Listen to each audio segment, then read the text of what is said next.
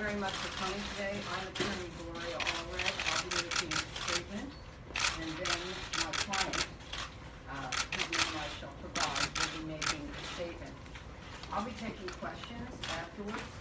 She will not be taking any questions, and will state the for that. I'm here today with a very brave woman from Alabama who alleges that when she was a minor, that she was sexually assaulted by Roy Moore. She alleges that at the time of the alleged assault, Mr. Moore was a district attorney in Etowah County, Alabama. Mr. Moore subsequently became an Alabama Supreme Court justice and had the unique distinction of being twice removed from that court for ethical violations. This new accuser of Roy Moore is here with me today. Beverly Young Nelson has chosen to come forward because she thinks that it is important to share what she alleges was her experiences with Mr. Moore when she was 15 and 16. Beverly, with some exceptions, has kept her secret from Moore. She did disclose what she alleges occurred with Mr. Moore to some close family members. She did not, however, speak out publicly because she feared Mr. Moore and the power that he had. Today, however, inspired by Mr. Moore's other accusers, she has found the courage to break her silence. Beverly contacted me to enlist my help and support in coming forward publicly with what she stated were truthful statements. Beverly gave our law firm permission to speak to her family members, to whom she had previously disclosed what happened to her when she was a minor. We have spoken to Beverly's mother and sister. Her sister has indicated that within two years of the alleged incident, Beverly told her about what happened with Mr. Moore when Beverly was still a teenager, and that they discussed it numerous times over the years because Beverly would become up on television and it would trigger the memories of what he had allegedly done to her. We also spoke with Beverly's mother, who was 77 years old. She vividly told her what had happened when she was a child. Her mother told us that Beverly was a very truthful person and that she completely believed her. Her mother told us that she asked Beverly why she had not told her mother at the time. Beverly told her that Mr. Moore had said that no one would believe her, and Beverly was afraid of Mr. Moore. Beverly's mother told us that she told mother, will always believe you. End quote. Beverly's sister also told us that she had no doubt that Beverly was telling the truth, and that the events with Mr. Moore continued to impact Beverly throughout the years. We also confirmed with John, her husband, who is here today, that before he and Beverly were married, that she told John what Mr. Moore had done to her, and that John had urged Beverly over the years to come forward and speak about what happened. Beverly is willing to testify under oath. We'll be making today. We urge the United States Senate Judiciary as soon as possible. Beverly is willing to voluntarily appear at such a hearing to tell, is willing to answer any questions that the senators might ask her relevant to her allegations against Mr. Moore. We believe that the Judiciary Committee should subpoena Mr. Moore to answer questions under oath regarding his alleged conduct with Beverly and the other accusers. Pending the United States Senate's decision as to whether a hearing will be held, Beverly has decided to decline interviews with the press. However, if the Senate does not schedule a hearing to be held within two weeks from today, then Beverly will answer questions in a different public forum. Mr. Moore's response to accusations of inappropriate behavior and threatened to sue. We believe that since Mr. Moore is seeking a seat in the United States Senate, he should support testimony under oath. before the Senate Judiciary Committee so that the facts can be determined in an open forum and in a fair manner. Mr. Moore may attack me as bringing Beverly forward because I am a Democrat. I would point out that I did not contact Beverly. She contacted me. Further, I have a public record of attacking Democrats who hmm. are or have been elected officials when they have been accused of injustices against women. For example, I filed a lawsuit against Democratic Mayor Bob Filner of San Diego and publicly accused him of sexually harassing the city's communications director. As a result of the mediation of our lawsuit, Mayor Filner resigned as mayor. In addition, I publicly criticized Anthony Weiner, a former Democratic congressman, regarding the sexting scandal. I also went on record criticizing former President Clinton when it became clear that he had lied about Monica Lewinsky. When it comes to injustices, it makes no difference to me whether a politician is a Democrat or a Republican. Our client has shown extraordinary courage by coming forward against an extremely powerful politician with powerful allies. She feels that it is her duty to speak out at this time, and we applaud her courage.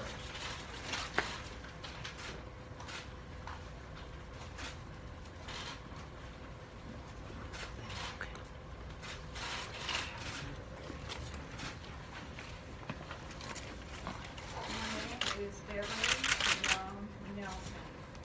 I was born on November fourteenth, nineteen sixty-one in Santa Maria, California. My husband John and I have been married for thirteen years. He has taken time off from work as a truck driver to be here with me today, and I, I thank him for that. When I was fifteen years old, I began working after school. I was attending Gadsden High School. I worked at the old Hickory House, which was on East Meighan Boulevard, off of Highway four thirty-one in Gadsden. I worked there after school as a waitress. Some nights I worked until seven P M and other nights until ten P M. Mr. Roy Moore was a regular customer. He came in almost every night, and he would stay until closing time. He sat at the counter in the same seat night after night. And I remember exactly where he sat. Mr. Mr. Moore was an adult. He was much older than I was. I knew that he was, I did not understand what that meant, but I did know that he always treated him with respect. When he was at the restaurant, he would speak to me and would sometimes pull the ends of my long hair as I walked by him. I had red hair down to my waist. He would compliment me on my looks, and I did not think anything of it. I did nothing to encourage his flirtatious behavior. I was accustomed to men flirting with me because I was a well-developed and complete, competed in beauty pageants. I did not attach any significance to Mr. Moore's behavior towards me, and I did not respond to any of Mr. Moore's flirtatious behavior for two reasons. First, I had a boyfriend.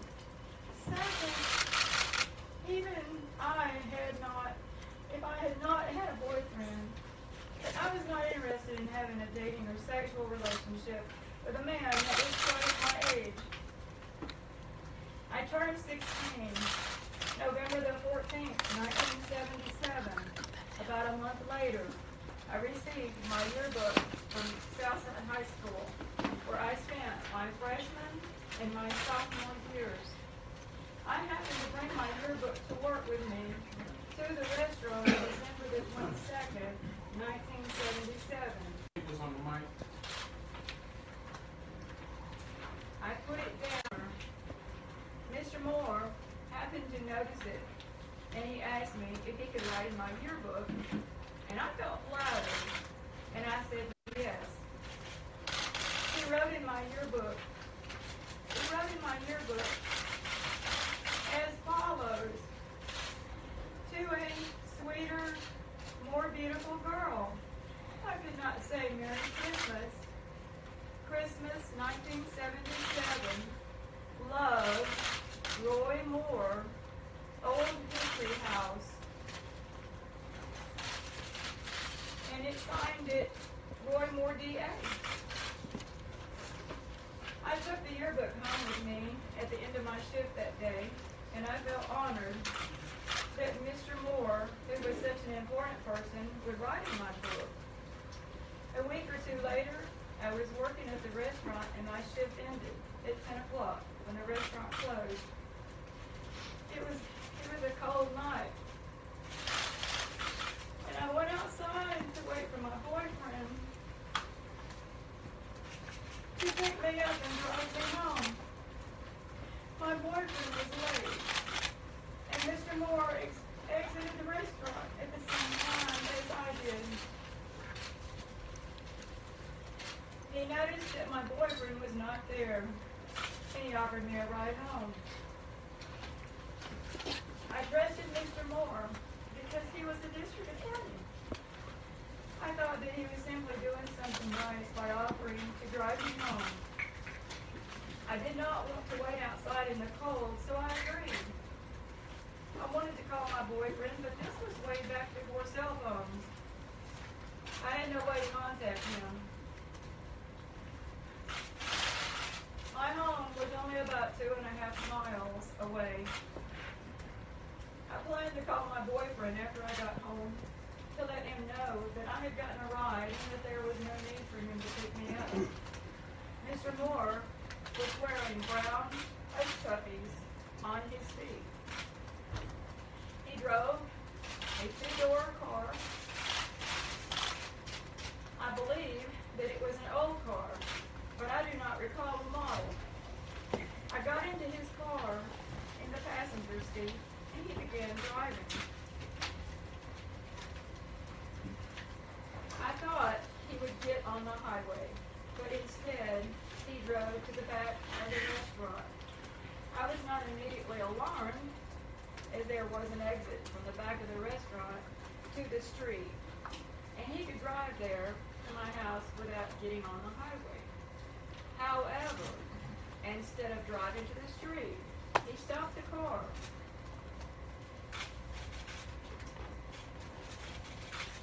He stopped the car and he parked his car in between the dumpster and the back of the restaurant where there were no lights. The area was dark it was deserted. I, I was alarmed and I immediately asked him what he was doing. Instead of answering my questions, Mr. Moore reached over and began groping me and putting his hands on my breast. I tried to open my car door to leave, but he reached over and he locked it so I could not get out. I tried fighting him off while yelling at him to stop. But instead of stopping, he began squeezing my neck, attempting to force my head onto his crotch. I continued to struggle. I was determined that I was not going to allow him to force me to have sex with him. I was terrified. He was also trying to pull my shirt off. I thought that he was going to rape me. I was twisting and I was struggling and I was begging him to stop. I had tears running down my face. At some point, at some point he gave up. And he then looked at me and he told me, he said, you're just a child. And he said, I am the district attorney of Etowah County. And if you tell anyone about this, no one will ever believe you. He finally allowed me to open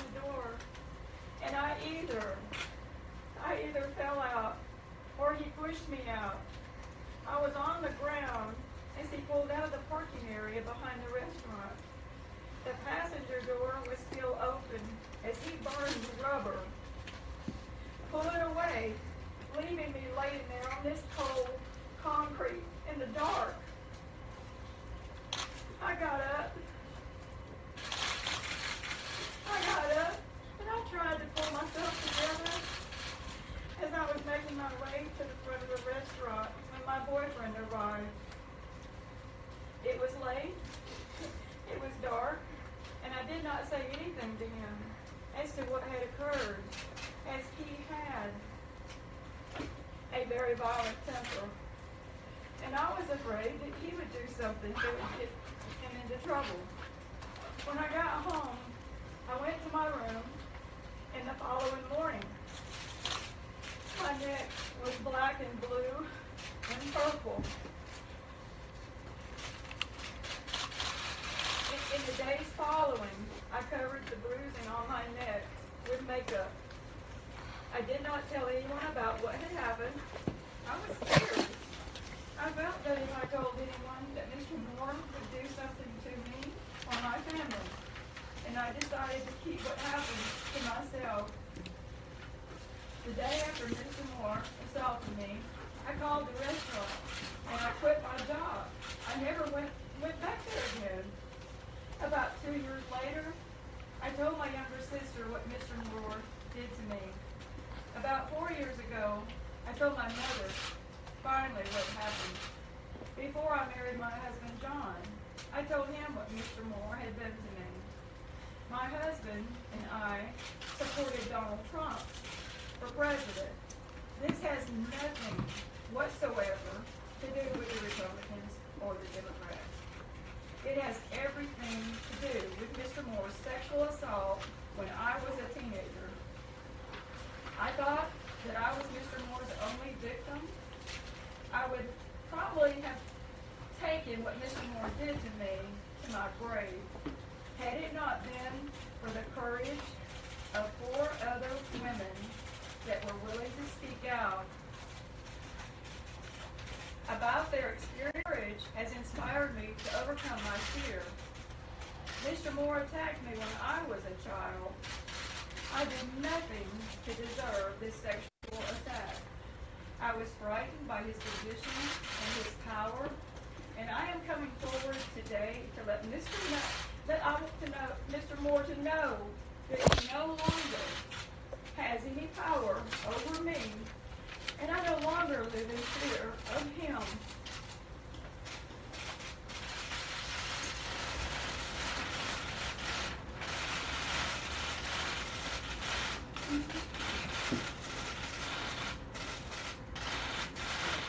Before I take questions, before I take questions, we have something to show you. First is going to be a kind of, por- kind of a portrait of her that was done at Six Flags. I Guess that's Six Flags Magic Mountain when she was about. I was sixteen. Let's stand up for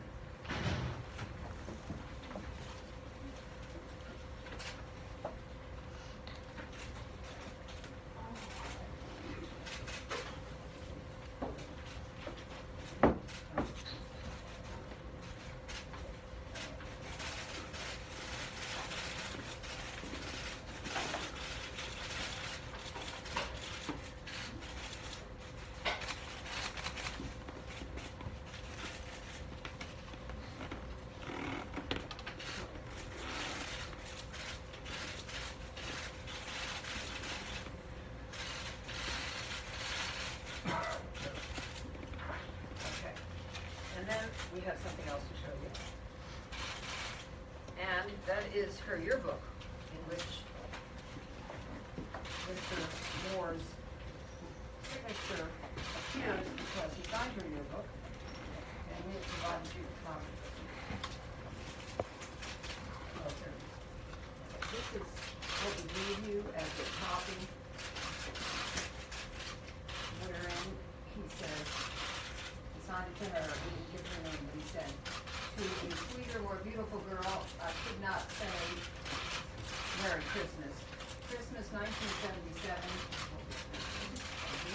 Love, Ray Moore. Oh, excuse me. Love, Roy Moore, DA, 122277 Old Hickory House. That's the yearbook. Was my name. And her name is on the outside, so that is her yearbook, Beverly Young, which was her maiden name. And also inside, there is a photo of Beverly. And that, we were about, what, fifteen? Fifteen. Maybe fifteen, let's find that photo. Seven. And so that's a photo of her in here. Right here. Okay, so right here, you can point to that photo. That's Beverly in the yearbook.